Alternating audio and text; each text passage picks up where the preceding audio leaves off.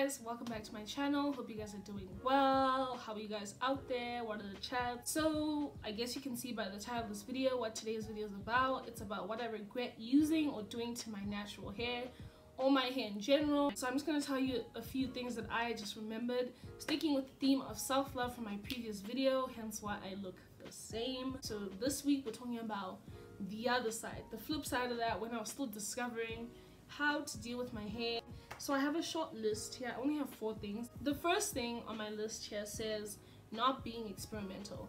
So initially for some years I was like super scared. I didn't use heat.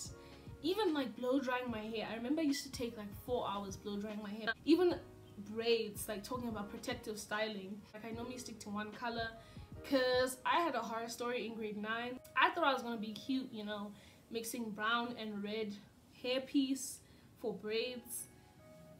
I removed it the day I got it. But yeah not being experimental I wish I'd done more. I wish I'd like maybe had gotten an undercut. I wish I had just gotten out of my shell with regards to my hair. Like I wish I would have straightened it when it was short. A lot of people will always just kind of like oh if I had your hair I would do this. Like to this day I've never done bantu knots like updos and things like that. I want to be more experimental. So on on this list I think that's like one of the only things that I think I'd like change for 2019 is just be more experimental with my hair. Second thing I regret is using coconut oil. I realized early on, um, it used to be so funny to me. People would be like, would come up to me and be like, oh my gosh, what do you use on your hair besides coconut oil? That's not even my, on my list. So the reason why I don't use coconut oil is because it just sat on my hair and I felt like it gave my it made my scalp a bit dry or like itchy. I just didn't enjoy it. And then it says here heat damage. So interesting story actually. I haven't told people this ever before but like a few years ago maybe five years ago or something i can't remember i was blow drying my hair getting it ready for braids.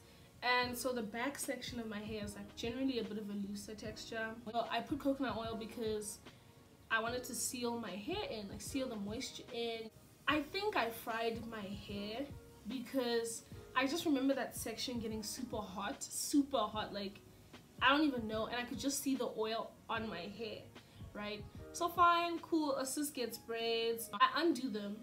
Now I'm busy putting in conditioner, you know, like the routine that I posted um, like a few weeks back, I think.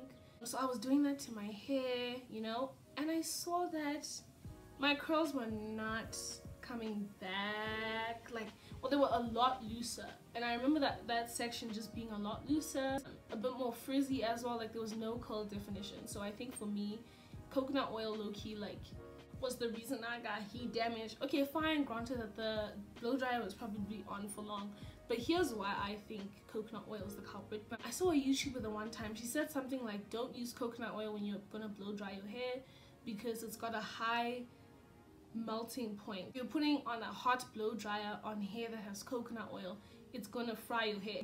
So that's why I do not use coconut oil. I had to nurse my hair back to health. I also had to trim some of it. So it was a bit of a setback, but we bounced back. Third thing, using a straightener. So this is not only just for natural hair, this is for hair in general. So when my hair was relaxed, I was serving looks. I'll show you pictures of myself with like my little swoop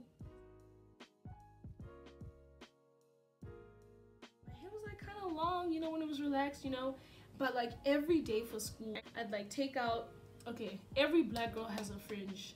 You can come for me in the comments. That was my life, you know, I had the fringe and every day, like I'd make sure to comb it out and like straighten it so that it can move nicely. And people used to be like, wow, Charmaine, your hair looks so healthy. Like it's moving. And I also have like the little side parts. Listen, I was, I was a lot obviously using a straightener almost every single day what do you think is actually going to happen? When i became natural or when i was transitioning i noticed that i saw a bald spot.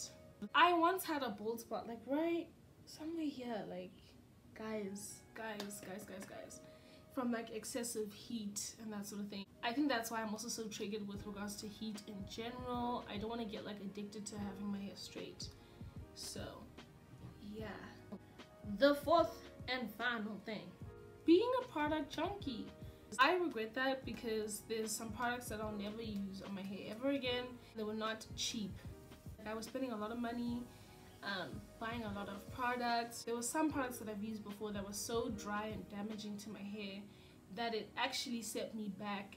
I had to like do a lot of trimming because obviously my my ends were splitting because it was so dry. That's one thing I do regret being a bit of a product junkie and being a bit reckless with it. In the States, you can return products. And if that was the thing here, I'd like, oh, I'd do that in a heartbeat. Yeah, that's that's pretty much it. I don't know, like what do you guys think? like what's on your list maybe i've forgotten some things maybe what's on my list isn't on yours yeah so if you guys enjoyed this video again please like share comment subscribe do all the good things you know what i'm saying? I'm trying to i'm trying to satisfy your guys's questions your guys's things. I'm trying to think of other videos. If you guys have any other video suggestions please like let me know. Yeah guys thank you so much for watching this video and i'll see you in the next one. Bye